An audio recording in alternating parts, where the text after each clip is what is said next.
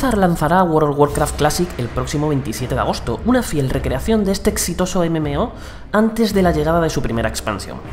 Como decimos, esta nueva versión supondrá un regreso al pasado en todos los sentidos, tanto a nivel jugable como de contenidos y gráficos. Lo único realmente moderno que tiene es su infraestructura online, ya que esta hará gala de la mejorada tecnología que la compañía ha desarrollado a lo largo de los años, por lo que podéis esperar mucho menos lag y servidores más estables, algo que siempre es de agradecer.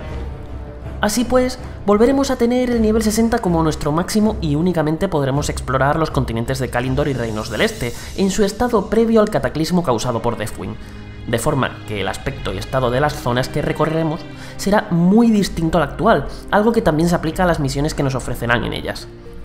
De igual modo, las combinaciones de raza y clase serán las mismas que había originalmente, por lo que olvidaos de controlar cosas como Pandaren, Elfos de Sangre o Draenei Evidentemente, tampoco será posible jugar como Caballero de la Muerte, monje o cazador de demonios, y siguiendo esta línea los chamanes vuelven a ser exclusivos de la Horda, mientras que los paladines pertenecerán únicamente a la Alianza.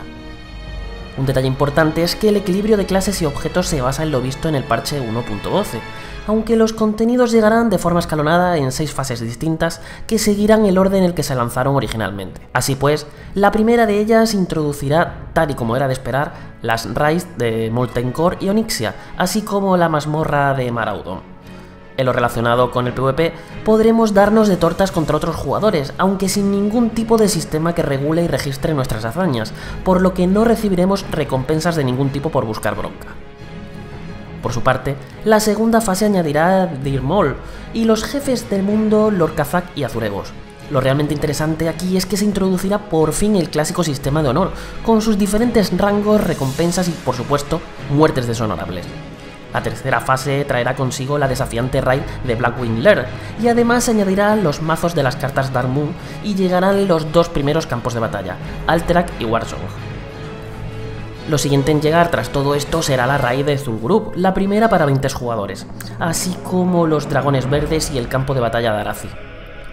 Las cosas se pondrán realmente interesantes a partir de la quinta fase, ya que en ella será cuando se abran las puertas de Ankiraj, algo que tendremos que hacer nuevamente entre todos los jugadores para intentar hacernos con el preciado título de Scarab Lord y conseguir su montura exclusiva. Dos recompensas reservadas únicamente a aquel que consiga culminar el evento. Una vez abiertas, podremos aventurarnos en sus dos raids, Ruinas y Templo de Ankiraj.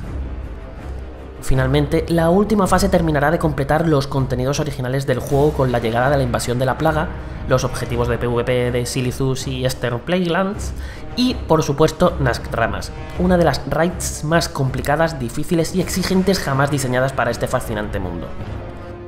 Entrando en lo puramente jugable, volvemos al antiguo sistema de combate, mucho más lento y pausado, con rotaciones más estrictas, donde el control de masas es vital para sobrevivir y en el que la gestión de recursos tiene una importancia bastante mayor.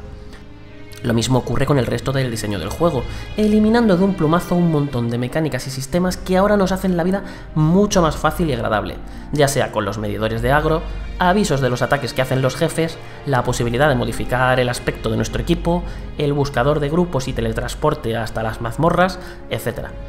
Sí, habéis escuchado bien, volvemos a los tiempos de tener que buscar compañeros de armas gritando en los canales generales de chat, y en los que el camino hacia ciertas mazmorras era toda una aventura en sí misma.